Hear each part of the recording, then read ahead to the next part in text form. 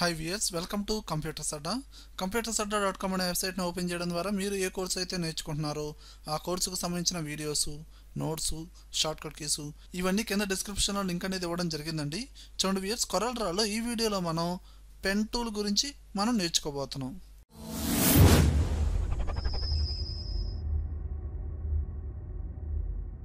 చూడండి వియర్స్ నేను already CorelDRAW open చేశానండి. పెన్ టూల్ ఇప్పుడు మనం నేర్చుకునే టూల్ ఎక్కడ ఉంది అంటే ఇదిగోండి. ప్రీవియస్ వీడియోలో మనం ఈ త్రీ టూల్స్ నేర్చుకున్నాం కదా. ఇప్పుడు మనం నేర్చుకునే టూల్ పెన్ టూల్ జనరల్గా ఫోటోషాప్లో అయితే ఈ పెన్ టూల్ అనేది వెరీ వెరీ ఇంపార్టెంట్ అండి.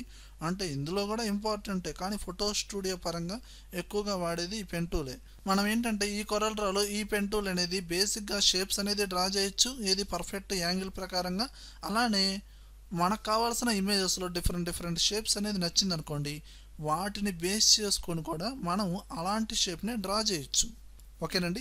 అలా టూ వేస్ ఏ విధంగా యూజ్ చేయాలనేది ఇప్పుడు చూద్దాం. జనరల్గా ఇప్పుడు నేను ఈ పెన్ టూల్ని సెలక్షన్ చేశానండి. ఇప్పుడు మీరు కామన్గానే ఒక స్క్వేర్ అయినా ఏదైనా డ్రా చేయాలన్నా ఇలా డ్రా చేయడమే స్ట్రైట్గా ఓకేనండి? ఇలా నార్మల్గా ప్రెస్ చేయొచ్చు. అదే మీరు ఇలా ప్రెస్ చేసి ఇప్పుడు కామన్గా ఇలా సెలక్షన్ చేసి ఇలా డ్రాగ్ చేయండి. మీరు ఎటైతే డ్రాగ్ చేస్తున్నారో ఆ విధంగా ఇలా బెండ్ అవుతుంది. ఓకేనండి? అదే మీరు ఎలా బెండ్ చేస్తున్నారు అనుకోండి ఈ టైప్లో. మీరు లైన్ని డ్రాగ్ చేసే విధానాన్ని బట్టి ఈ విధంగా బెండ్ అవుతుంది అనమాట అలానే ఇప్పుడు చూడండి ఇక్కడ నుంచి లైన్ అనేది ఆటోమేటిక్గా ఇలా బెండ్ అయ్యి ఈ విధంగా డ్రాగ్ చేసుకోవచ్చు. ఓకేనండి? కానీ ఇక్కడ చూస్తే మీకు సర్కిల్ అనేది పర్ఫెక్ట్గా రాలా.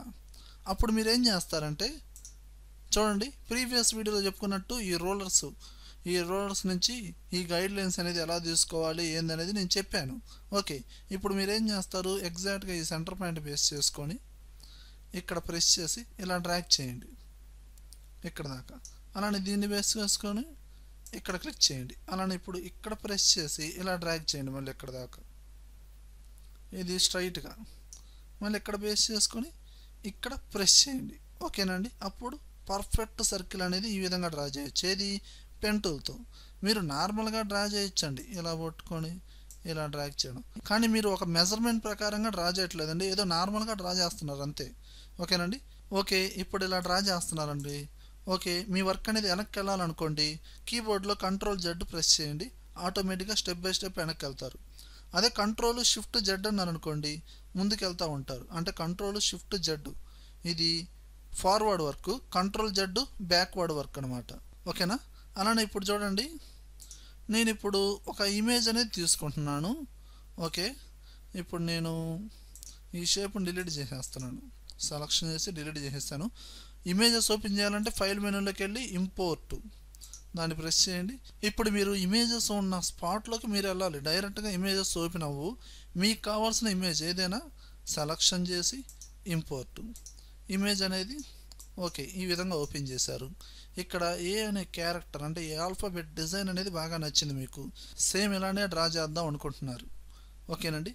అప్పుడు మీరేంటంటే ఈ పెంటూల్ తీసుకొని ఎగ్జాక్ట్గా ఈ పక్కనే ఉన్న డ్రా చేయగలరా? హండ్రెడ్ పర్సెంట్ పర్ఫెక్ట్గా చేయలేరండి.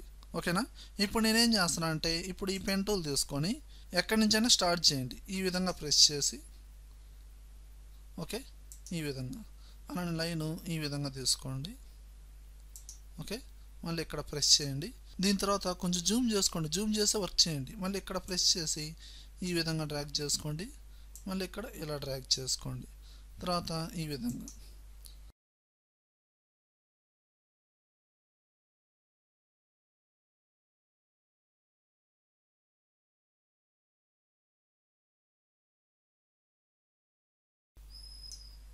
మళ్ళీ ఇక్కడ నుంచి స్టార్టింగ్ నోడ్ ఇక్కడే కదండి ఇచ్చింది. దాని మీద ప్రెస్ చేయండి. అలానే ఇక్కడ మనకి ఈ ఏరియా కూడా కావాలి కదండి. సో ఇక్కడ ప్రెస్ చేయండి. మళ్ళీ ఇక్కడ ప్రెస్ చేయండి.